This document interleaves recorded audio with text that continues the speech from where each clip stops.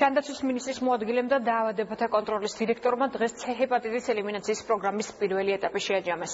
როგორც მინისტრის მოადგილემ აღნიშნა, პროგრამაში სულ 50000 ადამიანი ჩაერთო, სკრინინგი ჩაუტარდა 11000-მდე პირს.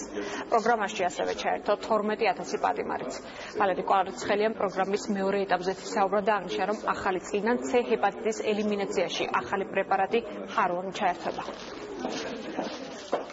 ვაგრძელებთ ახლა პროექტს და მკურნალობთ ასევე მძიმე დაავადებულებსაც თებერვლის თვიდან უკვე ქვეყანაში შემოვა კიდევ ერთი პრეპარატი, კიდევ ერთი განსაკუთრებული პრეპარატი, რომელსაც ქვია ხარვონი და სოფოსბურთან ერთად, რომელმაც უნიკალური შედეგები მოგვიტანა ჩვენ.